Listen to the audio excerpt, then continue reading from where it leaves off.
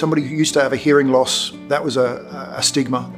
They wouldn't like to acknowledge the fact they had a hearing loss, but I think the devices are becoming so discreet, they're becoming more an acceptable part of life.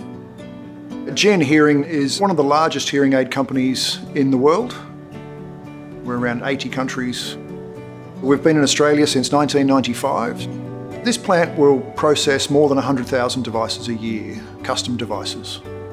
The audiologist will take an impression of the customer's ear. That impression will arrive here and be digitally scanned.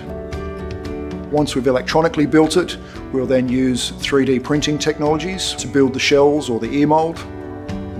Asiga printers really are the crux of the manufacturing process that we have now.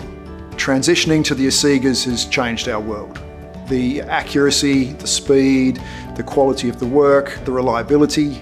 We're producing jobs on time to a high level of uh, finish every time.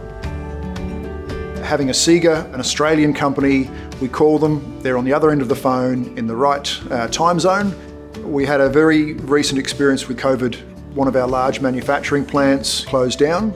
We had to bring a lot more manufacturing in-house.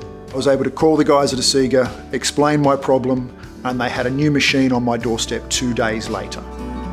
They've really revolutionised the way we work.